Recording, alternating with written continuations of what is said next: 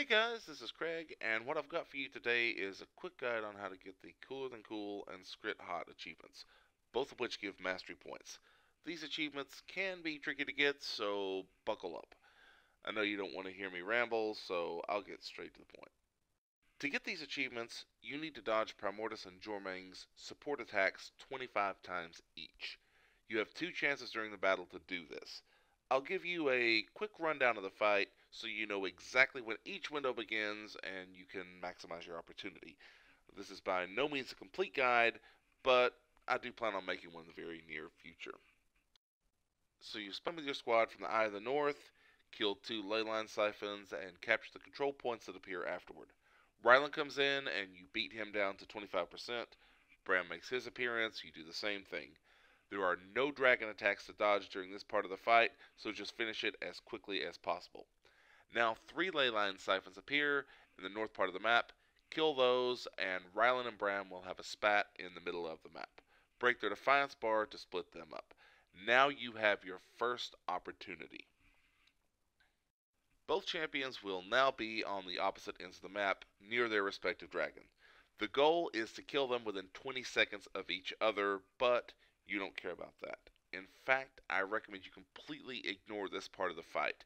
Not only do you move slower when you're in combat, but you won't be able to get on your mount to move around quickly. Just focus on dodging the dragon's attacks.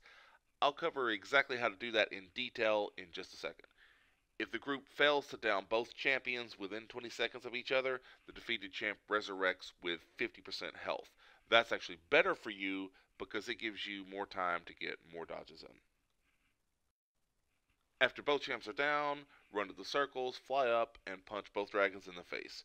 Six ley line siphons appear this time on the north and south sides of the map.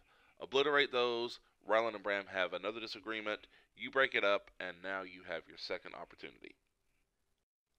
Jormag's attack is much easier, so I'll cover it first. You'll see a large rectangular AoE on the ground. While you're waiting for it to appear, I recommend you stay far enough away from the monsters they don't tag you, but also far enough from Jormag that you have a little time to see the attack coming towards you. Getting on your raptor helps, it'll give you more mobility and a bigger hit point buffer. The hardest part of this achievement is avoiding all the AoE ice attacks. They'll either chill you to a crawl or knock you down. Neither of those is going to help you. I highly recommend equipping the best stun breaks, condition cleanses, and swiftness that your class has available. As soon as the AoE appears, get inside it, face Jormag, and hop off your mount. A blue cascade of ice will start coming towards you. Just before it reaches you, double dodge directly into it. Hammer your dodge key as fast as you can until your endurance is gone. If you're lucky, you might even get two or three evades per dodge. That's it. Repeat until you are cooler than cool. Unfortunately, Primordus' attacks are much more difficult. Not only do you have less time to react, but the area he attacks is a lot smaller. Unlike Jormag, he has two different attacks, both of which will give you achievement credit if you dodge them successfully. The first is a chin slam.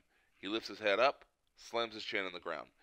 You'll see an arcing AoE that spawns by his head, and it will fill in red. The moment the red hits the edge, his chin slams down. This attack is instantly lethal, so timing is important. You need to stand just inside the AoE and dodge into the attack about a half second before the red meets the edge. Immediately afterward, lava will bubble up from the ground, and if you time it correctly, you can turn around and dodge back through the lava for additional credit. You can get several evades per dodge if you're lucky. The lava isn't lethal, but it will apply burning and a decent amount of damage, so have a cleanse and a heal ready. For his other attack, he will throw out four large meteors. Unfortunately, these hit in random spots. Yes, random spots. Before he does this attack, you'll see his head move off screen and he'll pick up a meteor in his mouth. I recommend standing fairly close to him while you're waiting to see which attack he's going to do. Once you see him grab the meteor, immediately turn away from him and look outward to try to find the AoE circle for the meteor. This is tricky because so many other AoEs spawn during this phase, you don't have a lot of time, so quickly determining which AoE is the correct one is crucial. There will be several multi-circle pulsing AoEs. Avoid these. After a couple pulses, a meteor will crash down from the sky and send out a large shockwave. Dodging these meteors does not give you achievement credit. Shockwaves will knock you down, so avoid those or jump over them if they're too close. Bram does an AoE attack that knocks you down for several seconds as well. Now this circle's bigger than the one for the meteors, so it's easy to spot. The smaller plane circles are the ones you want. Being on your Raptor can help for this part, but the jump and dismount delay can be just long enough that you miss the dodge. You have to be fast. Something else to make things even more fun, the meteors close to Primordius hit sooner than the ones farther away. Looking up the meteor will help you time when to dodge. Unfortunately, I found that I didn't have time to do that. So I learned to just estimate when to dodge based on how far I was from Primordius.